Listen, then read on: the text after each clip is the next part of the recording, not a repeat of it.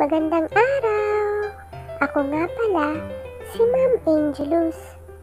Ngayong araw, tatalakayin natin ang coronavirus.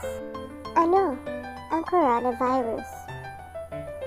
Ang coronavirus ay isang uri ng virus na nagdudulot ng respiratory illness sa hayop at tao.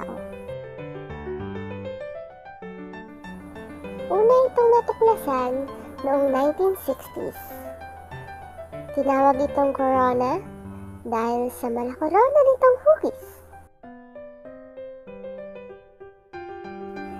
May iba't ibang uri ng coronavirus. Isa rito ang Middle East Respiratory Syndrome or MERS-CoV.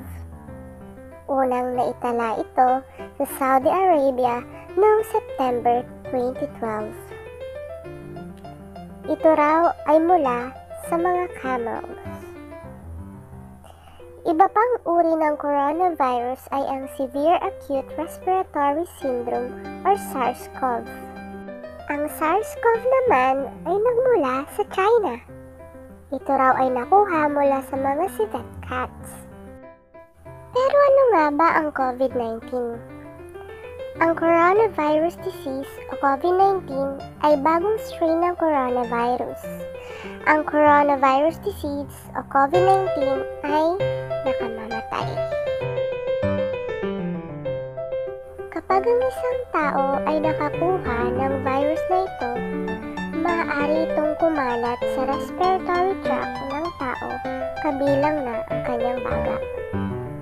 Sa loob lang ng ilang araw, maaari na itong magdulot ng pneumonia na kung saan ang coronavirus ay hindi nagagamot ng kahit anong antibiotics.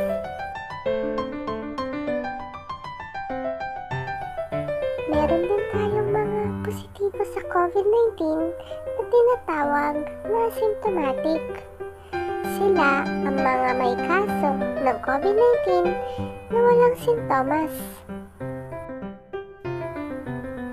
Minsan gusto nating itanong sa mga kinuukulan, bakit kailangan pa natin mag-antay ng 14 days para sa quarantine? Eh, kung pwede namang 5 days lang. Yun ay dahil meron tayong tinatawag na incubation period na kung saan nararamdaman mo lang ang sintomas ng COVID-19 pagkatapos ng labing apat na araw.